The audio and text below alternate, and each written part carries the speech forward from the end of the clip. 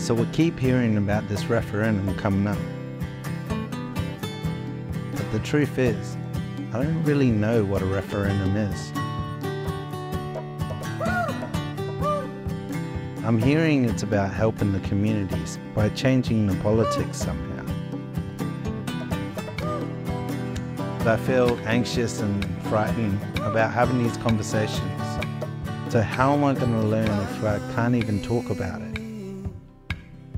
Fly with me, together we find.